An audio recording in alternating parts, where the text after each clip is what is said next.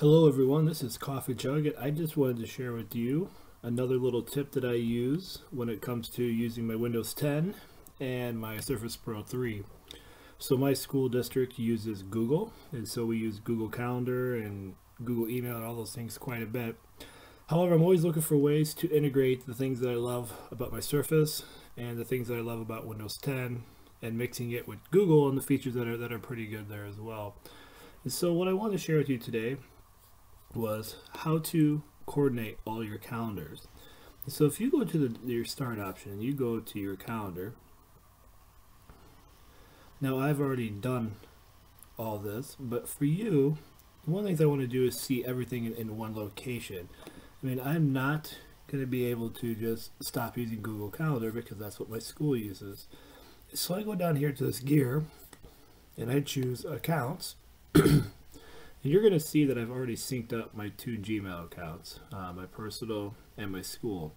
What you can do is click this add account and you can add whatever account it is that you use, uh, whether it's iCloud, Google Exchange, or your Outlook. And you add all that. Um, I'm not going to add one now because I don't have any others to add. And it'll sync up. It'll ask you to click the blue allow button to read into that, that tab and then you're going to be in great shape and your calendar will start to look like mine where all the calendars that you've created you can see here in my Gmail all my calendars that I use as well as my school I've got all my things here as well. And now I've got just one location where everything is at and that makes it really really nice when it comes to using the best of both worlds. Once you have your calendars integrated the other beauty is that you can then add your own events. So um, let's go ahead and do that now. Hey Cortana, add event, date November 21st,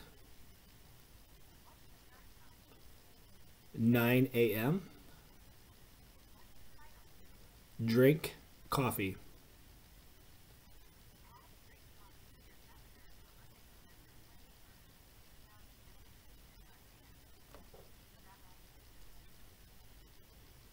Yes.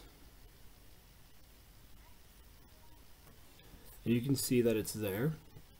Um, what it did, if you if you notice that it, it syncs to your last calendar that you use. So the last calendar I used was my coffee chug calendar.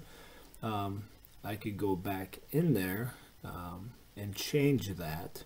So hey Cortana, add event.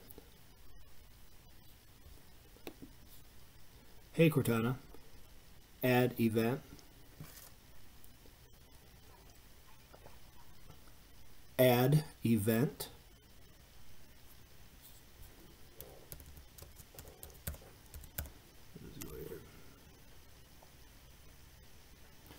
Alright, so you can see like right here then I can choose whatever calendar I would like. These are all my calendars that I have. And so you can have those options, but it'll always default to the last one that you used. So now, when I go back to my calendar, all right, my events will pop up.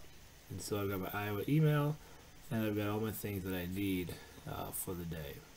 So just a really, really helpful tip for you to have as you're working through trying to make sense of all the calendars using the tools that you like and the tools that you have to use um, just to help make sense of the world around you. Hope you found this helpful. Let me know if you have any questions, tips, or ideas, and always looking forward to learning along with you. Have a great day.